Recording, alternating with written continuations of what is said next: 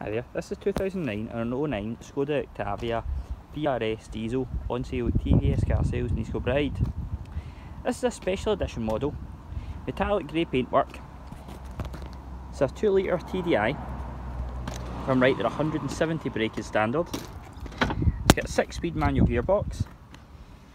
In the VRS, we've got the two stone sport seats with the half leather and Alcantara and cloth centres. It's got aux connection. It's also got a Bluetooth hands-free kit. In the VRS, naturally we've got four electric windows, electric heated mirrors. There's plenty of legroom in the back and there is also a centre armrest that folds down. Covered 134,000 miles from new, but it's been excellently maintained. It's got brand new disc brakes and pads all round.